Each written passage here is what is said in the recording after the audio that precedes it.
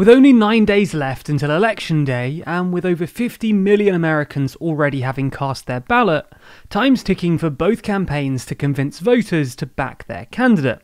For Biden's camp, time passing and no major changes in the race is a good thing. Their man is ahead, and polls certainly suggest that he has a number of viable routes to the White House.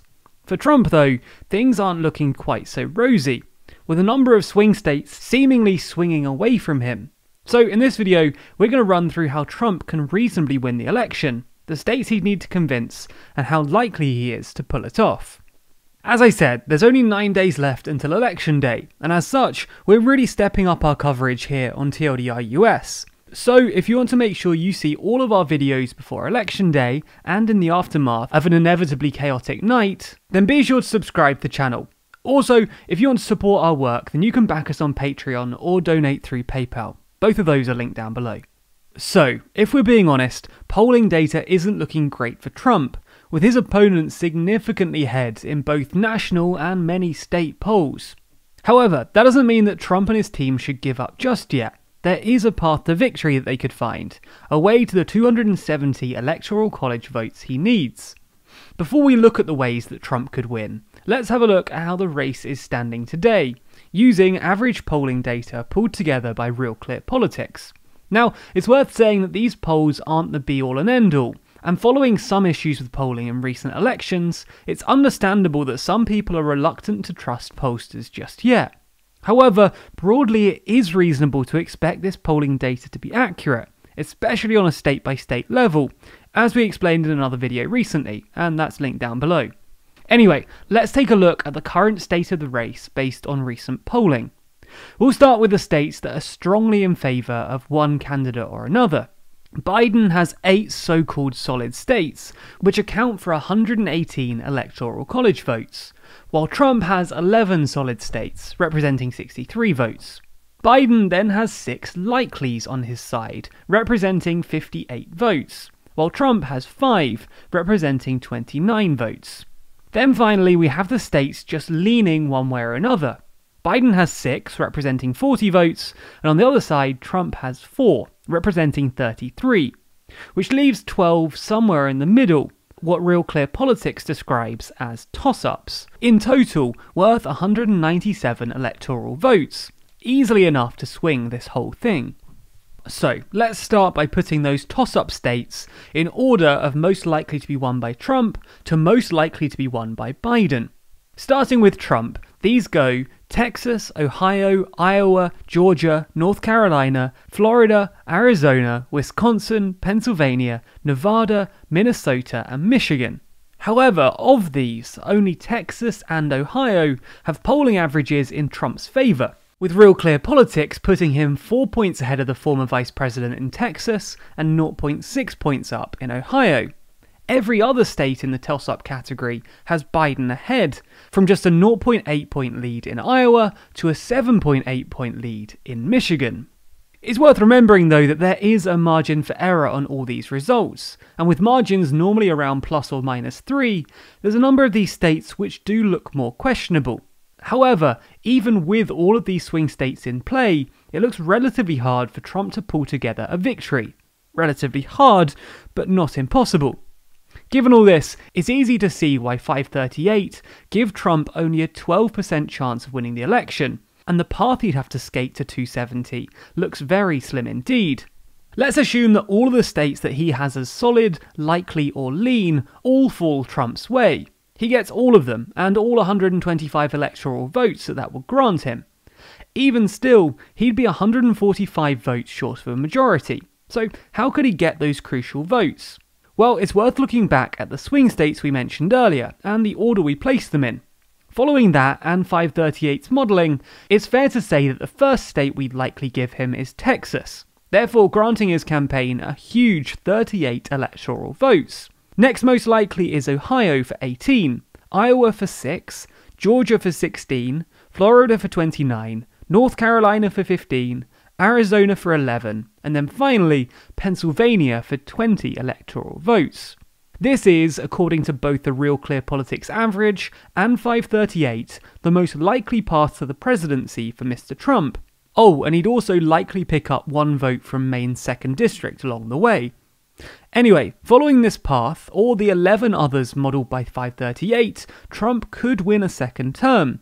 But honestly, and this isn't us being anti Trump, it doesn't look overly hopeful based on recent polling. Remember earlier I said that only two of the swing states lent Trump's way, according to Real Clear Politics. Well, that means that only two of these swing states we've assigned to Trump are actually looking more likely to swing his way. The other 98 votes are looking more in the hands of Biden. In fact, some of these states that Trump relies on picking up are currently pretty substantially in Biden's favour, with Biden up 4.9 points in Pennsylvania, 3.2 in Arizona, and 2.1 in Florida. These aren't insurmountable odds, and some are clearly within the margin of error, but it's certainly not looking like Trump has an easy path to re election. He'd have to fight hard to win enough of these states back. But just because the polls aren't making a Trump victory look likely right now, doesn't necessarily mean that will be the reality on election day. I mean, even Biden's campaign manager warned staffers not to become complacent. She remarked that the reality in the race is far closer than some of the punditry we're seeing on Twitter and TV would suggest. In key battleground states where this election will be decided, we remain neck and neck with Donald Trump. Going on to say that if we learn anything from 2016, it's that we cannot underestimate Donald Trump or his ability to claw his way back into contention in the final days of a campaign. So, why might there be hope for Trump's campaign? What reasons are there to suspect that he's seriously still in the running?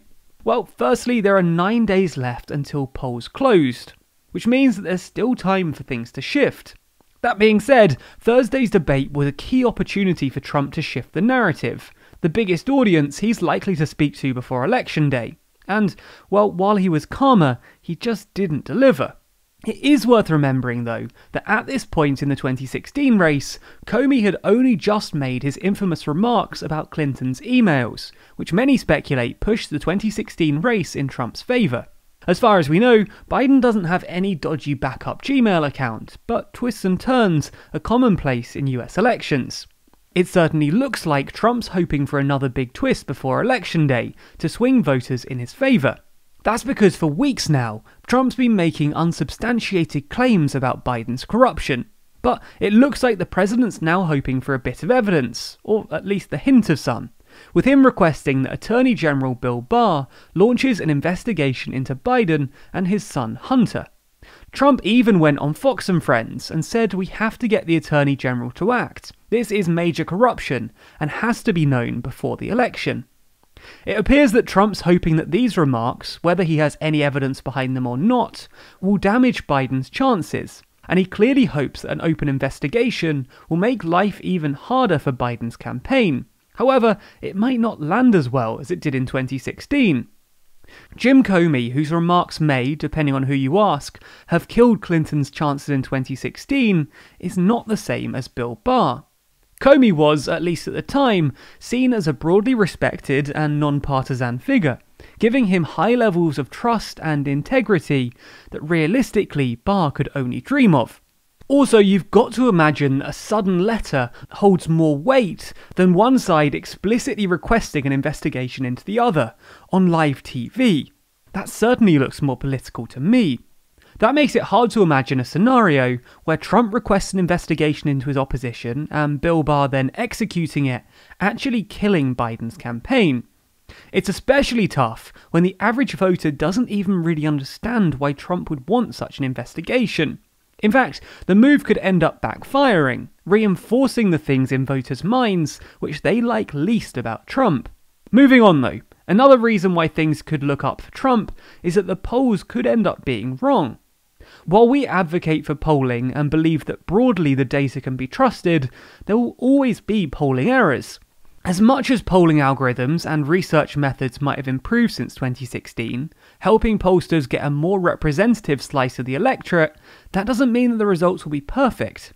That's especially true during this current climate, with millions of voters voting in different ways for the very first time. So it's hard to predict the impact that this will have on voters and importantly on turnout.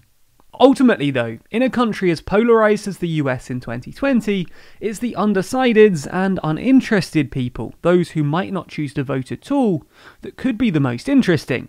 It's not likely that Trump's going to be able to do very much in the coming days to win over Democrats. But what's more likely is that his actions could mobilise those less likely to vote, or those just generally less engaged with politics. The interesting thing is that in 2016, many of these people swung in his direction.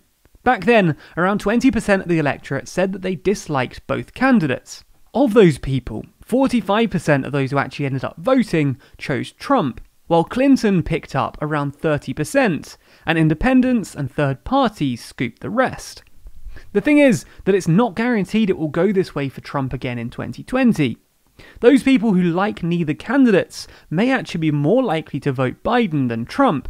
And that's not just liberal spin either. Biden's approval ratings have been consistently higher than Trump's. And for the Democrats, having a candidate with okay approval ratings versus one with poor approval ratings could make all the difference with these voters.